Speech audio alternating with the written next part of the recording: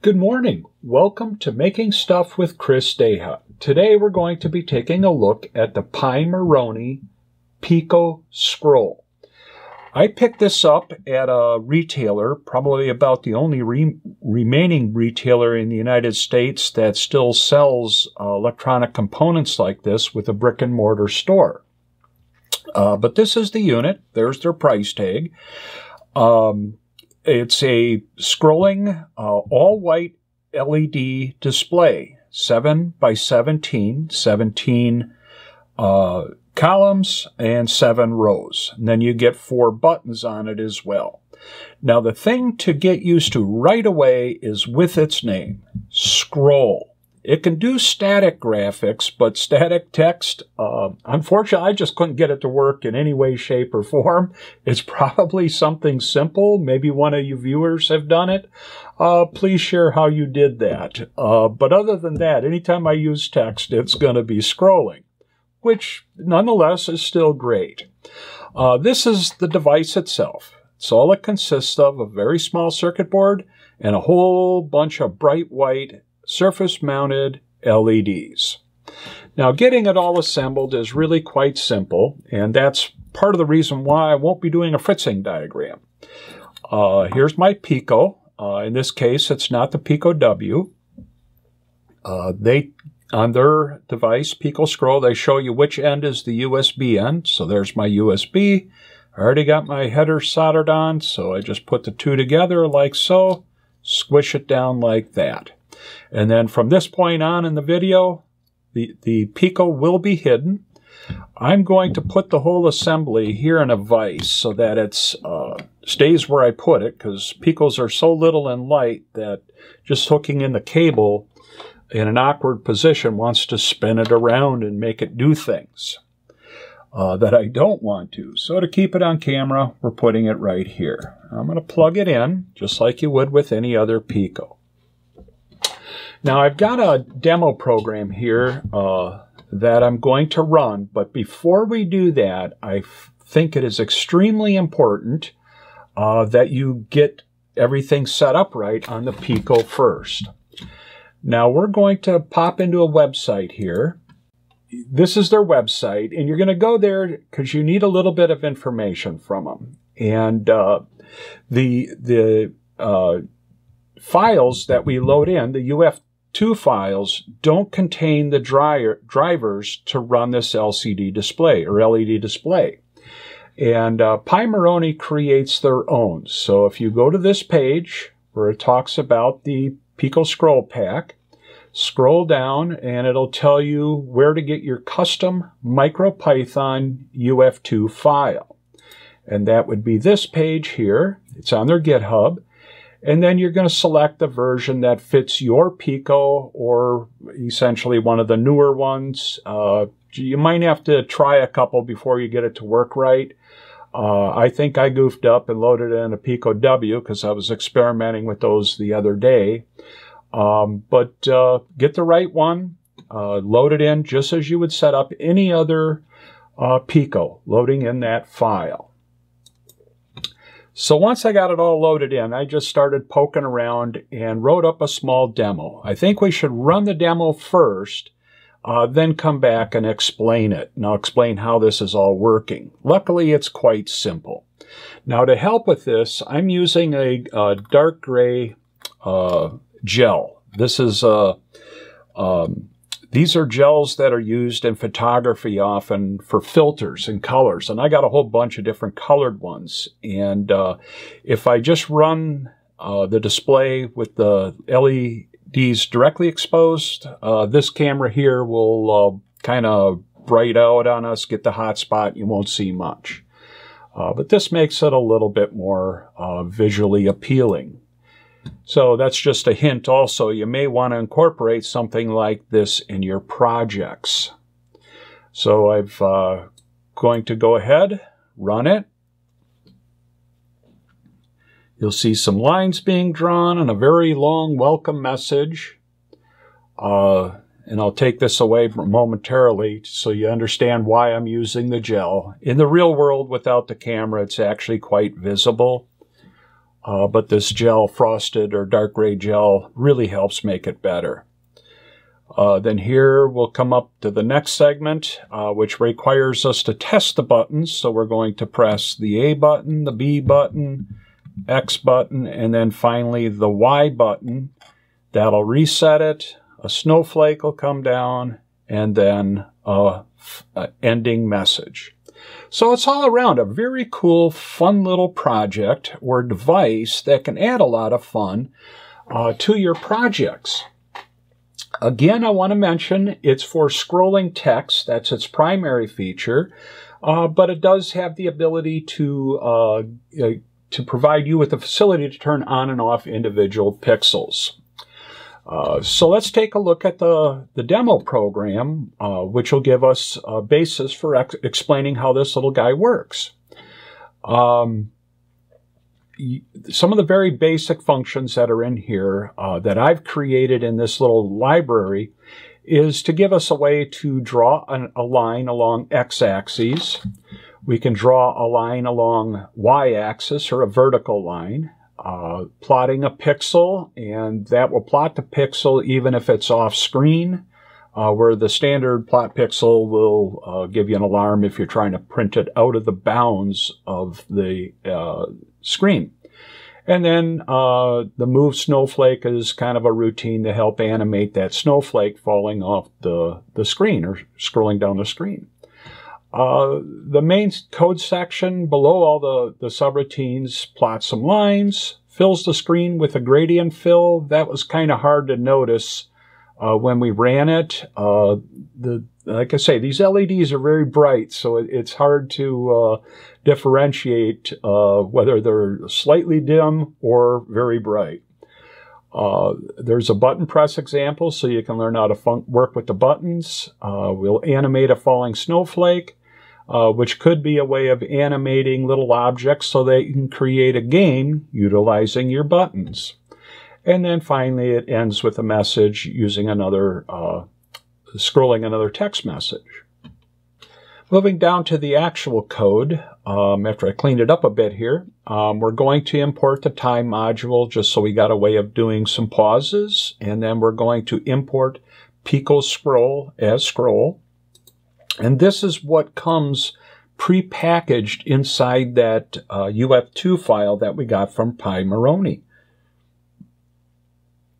First thing we'll do is we're going to query uh, and get uh, the width and the height, which we technically already know. It's 7 by 17, 17 wide, 7 uh, high.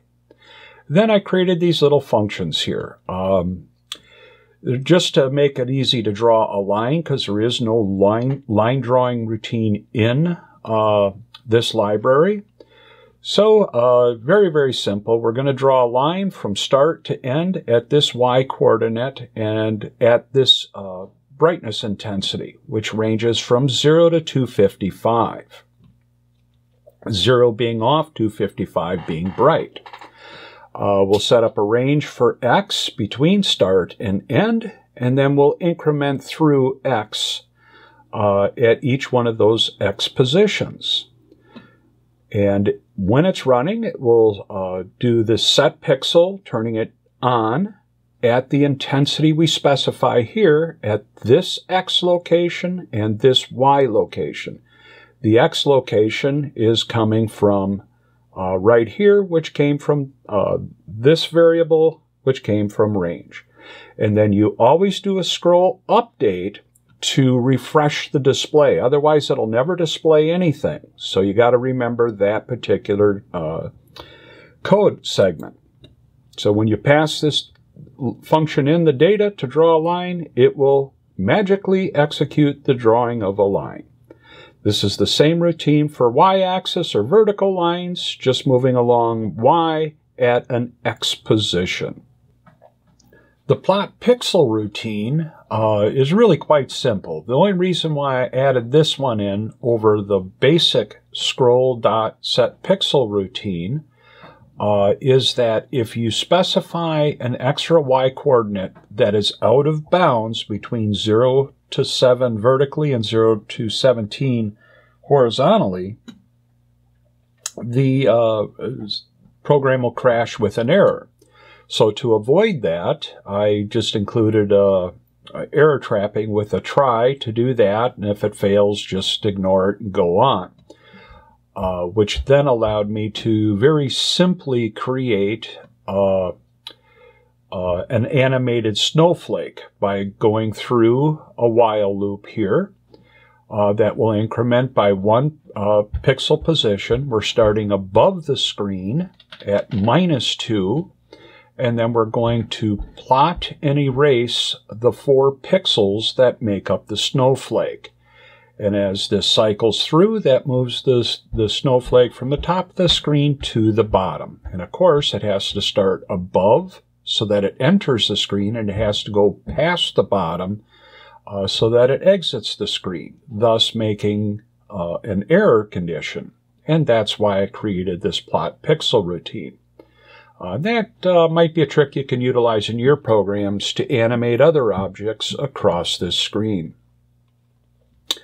Uh, then from here, it's pretty much just calling functions. Uh, we're going to uh, learn a couple more commands here. Scroll.clear clears the screen.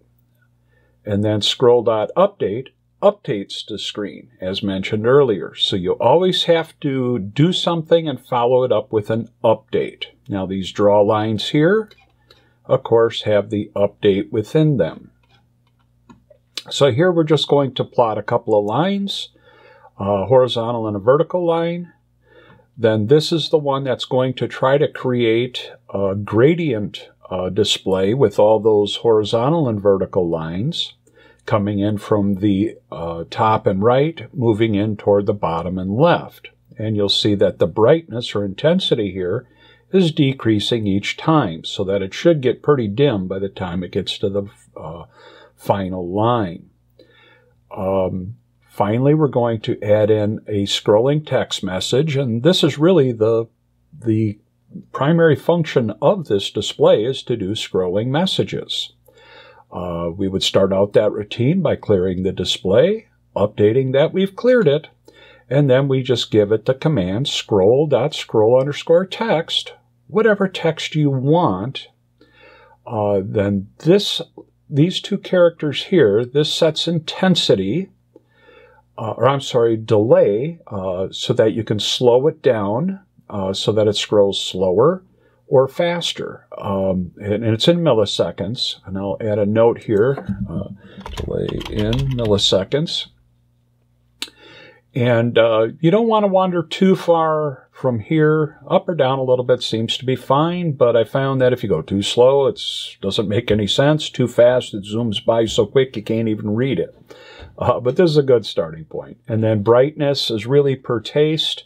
Um, I got it set at 128. Not sure how I came up with that, but we'll go with it. it. Might be close to the middle of, of its range of 0 to 255. Um, but this would be the message that'll scroll, and it goes from right to left. Uh, moving into the button example section of the code, we're going to clear the screen, uh, update it again, and uh, that's a leftover here. Um, I'll get rid of that so we don't have to deal with that when you get this code in your computer. Um, what we're going to do is just go into a loop here that'll just keep running. There's nothing on the display at this point. We've cleared it and updated it. Um, but if you press uh, the A button, which over on the Pico scroll is this button here, and then B button, X button, and then finally the Y button. And anytime you hit one of those buttons, uh, a few pixels will uh, show up or brighten up right next to the button so that you know which one you hit. Uh, when you hit the Y button, uh, it'll do that, updates it, and then it'll sleep for uh, uh, a second, and then it'll break out of this loop so that we can go on with the rest of the demo. Not any real function in here, just something to show you how you check to see if a button is scrolled and then doing something with that action. Uh, here, we're again clearing the screen, updating it, and then we're going to animate that falling snowflake. And that was all explained up above. So we'll go back up to here just momentarily to look at that. And here it is. And we're passing at the X location. Uh, that's the left to right location where we want the center of that snowflake to be. Come back down. And then uh, we scroll another text message. First we clear, update the screen, and say, that's all, folks. Uh, and we're doing it at the same brightness and same speed as we did with the other scrolling message. So let's go ahead, we'll run that again and see if now you get a little better handle on what all that code is doing. I'm also going to do another thing here. Um, I am going to go up and I've got these two lines uh, in draw X line, draw Y line uh, commented out. What I'm going to do, and that's uh, during testing, I didn't want any more delays. Um, I am going to let that delay a little bit, and I'm going to increase that delay time just a teeny bit. And this will make the display run more animated as, a, to, as opposed to immediately drawing the line. And that might make something uh, visually more appealing in one of your projects. So we'll let it run. Now you see how it's kind of drawing those lines more animated, makes it a little more fun.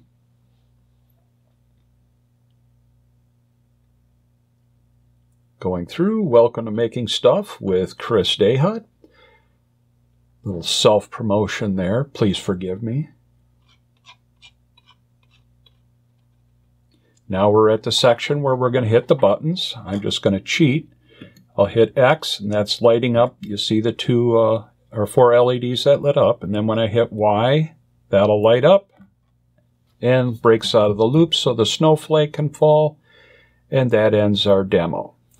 So as you can see, it's a really simple little display. It's uh, pretty much limited in what it can do, but with that ability to set pixels, you can create a lot of shapes and so forth that uh, could be more fun for you. That's where your creativity goes into uh, working with this display. Thanks again for watching. I'm Chris DeHut for Making Stuff with Chris DeHut. See you in the next video.